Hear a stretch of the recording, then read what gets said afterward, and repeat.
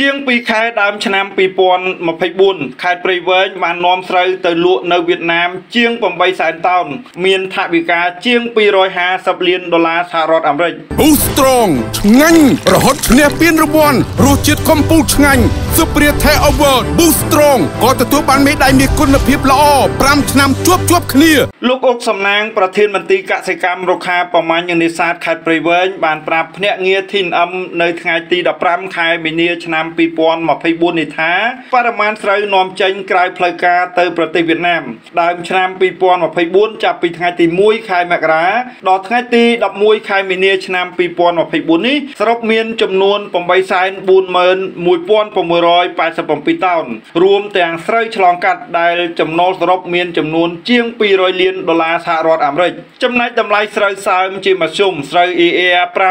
50404តម្លៃ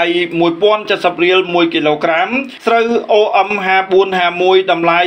1070រៀលក្នុង1គីឡូក្រាមដោយឡែកក្នុងសប្តាហ៍នេះស្រូវនាំចេញទៅលក់នៅប្រទេសវៀតណាមសរុបមានចំនួន113,372តោនចំណូលសរុបជាង30លានដុល្លារសហរដ្ឋអាមេរិកលោកអុកសំណាងបានបន្តថាផលិតកម្មដំណាំស្រូវរដូវប្រាំងគិតត្រឹមខែទី12ខែមីនាឆ្នាំ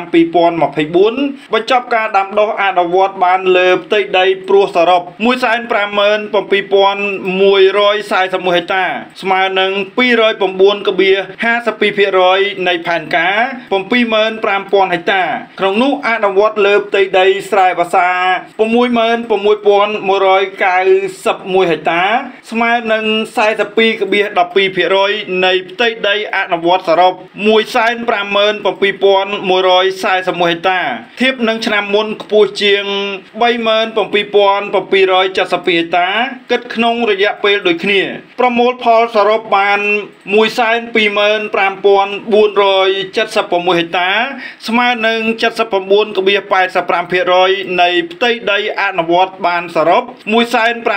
157,141ហិកតាបរិមាណផលសរុប67679តោនលោកបានបន្ថែមថាដំណាំសាវបកម្មមានបន្លែគ្រប់មុខពោតឲ្យលឹកនិងម្ទេសគ្រប់មុខសម្រាប់បានលើផ្ទៃដីសរុប1495